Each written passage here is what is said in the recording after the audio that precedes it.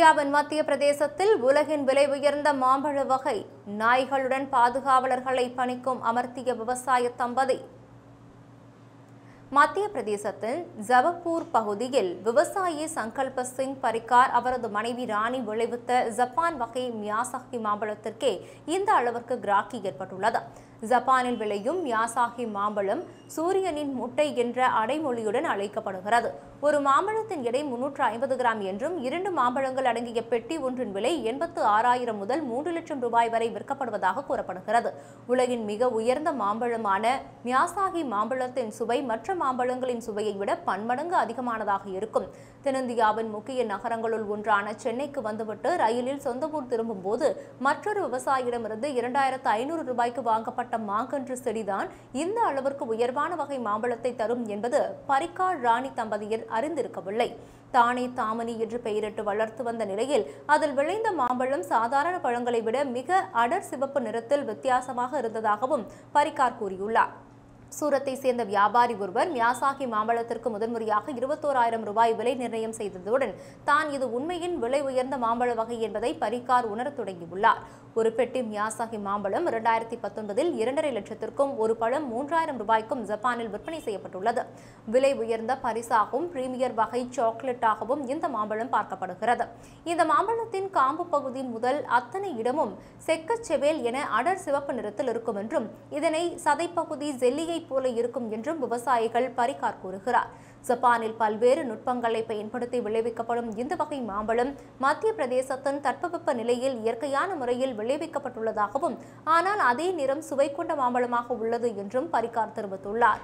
அதே நேரத்தில் ஐம்பத்தி இரண்டு மாங்கனிகள் தற்போது கிடைத்துள்ள நிலையில் விலை அதிகமாக கிடைத்தாலும் அதனை தற்போது விற்பனை செய்ய விரும்பவில்லை என்றும் இதனை மீண்டும் விளைவித்து கூடுதல் மியாசாகி வகை மாங்கன்றுகளை வளர்க்க உள்ளதாகவும் பரிக்கார் ராணி தம்பதியினர் தெரிவித்துள்ளனர். இதனை தங்கள் பிள்ளைகள் போல வளர்த்து வருவதாகவும் அதற்காக மாதம் எட்டாயிரம் ரூபாய் சம்பளத்தில் மூன்று பாதுகாவலர்கள் ஒன்பது நாய்களை பணியமர்த்தி உள்ளதாகவும் அவர்கள் கூறுகின்றனர். கடந்த சில மாதங்களில் பதினான்கு மாம்பழங்கள் திருடு போனதாகவும் அதனை தடுக்க இந்த பாதுகாப்பு நடவடிக்கை மேற்கொள்ளப்பட்டதாகவும் பரிக்கார் கூறுகிறார். தங்களுக்கு பணத்தை விட இந்த மாம்பழங்களும் மாங்கனிகளுமே முக்கியம் என்று கூறுகின்றனர். பரிக்கார் ராணி தம்பதியினர். இத்துடன் இந்த செய்தி தொகுப்பு நிறைவடைகிறது. வணக்கம். உங்க பிஸி ஸ்கெடியூல்ல சூப்பர் மார்க்கெட்க்கு போய் வீட்டுக்கு தேவையான பொருட்களை ஷாப்பிங் பண்ண முடியலையா?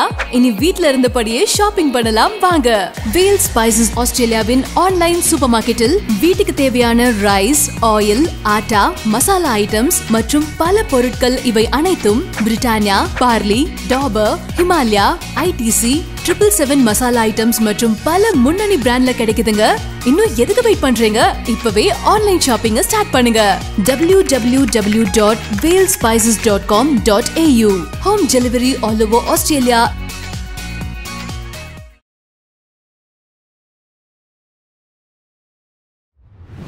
இந்தியாவில் கொரோனாவால் உயிரிழந்தவர்களுக்கு இழப்பீடு வழங்க முடியாது என்று உச்சநீதிமன்றத்தில் மத்திய அரசு தெரிவித்தது. மத்திய அரசின் பேரிடர் மேலாண்மை சட்டத்தின் பனிரெண்டாவது பிரிவின்படி கொரோனா வைரஸ் பாதிப்பில் உயிரிழந்தவர்களின் குடும்பத்திற்கு நான்கு லட்சம் ரூபாய் இழப்பீடு வழங்க உத்தரவிடக் கோரி உச்சநீதிமன்றத்தில் வழக்கறிஞர் ரீபக் கான்சல் என்பவரால் மனு தாக்கல் செய்யப்பட்டது.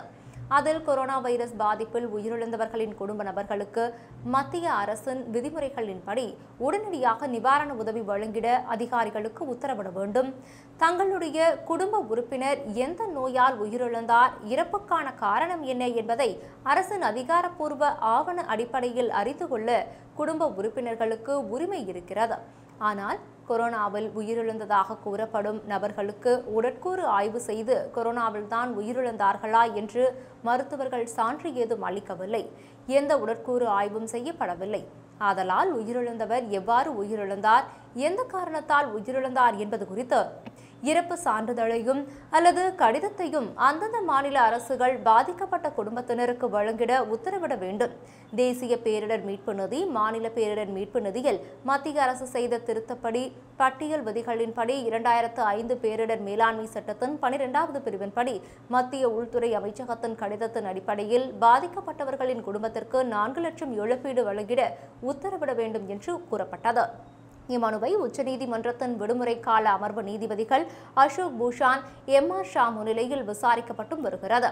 இந்நிலையில் மத்திய அரசின் சார்பில் உச்சநீதிமன்றத்தில் தாக்கல் செய்யப்பட்ட பிரமாண பத்திரத்தில் பேரிடர் மேலாண்மை சட்டத்தின் கீழ் கொரோனாவால் இறந்த ஒவ்வொரு நபரின் உறவினர்களுக்கும் நான்கு லட்சம் ரூபாய் இழப்பீடு வழங்க முடியாது. கடந்த ஓராண்டிற்கு மேலாக தொற்று நோயை எதிர்த்து மத்திய மாநில அரசுகள் போராடி வருகின்றன. இதற்காக பெரும் தொகையை மத்திய மாநில அரசுகள் செலவிட்டுள்ளன.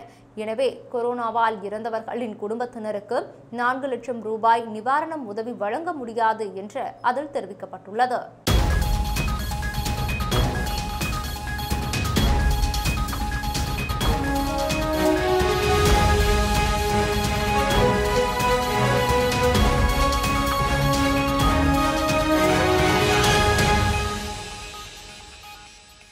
உங்கள் வியாபாரத்தை அடுத்த கட்டத்திற்கு கொண்டு செல்ல ஆசையா? கவலையை விடுங்க. அதுக்கு நாங்க பொறுப்பு. அனைத்து டிஜிட்டல் மார்க்கெட்டிங் சேவைகளும் கிடைக்கும் ஒரே இடம் வர்ப் இன்னோவேஷன் எங்களின் சேவைகள் search engine optimisation web development social media and online marketing மற்றும் பல. இன்னும் எதற்கு வெயிட் பண்றீங்க? Call verb innovation at one three double zero six eight three seven eight three visit www.verbinnovation.com.au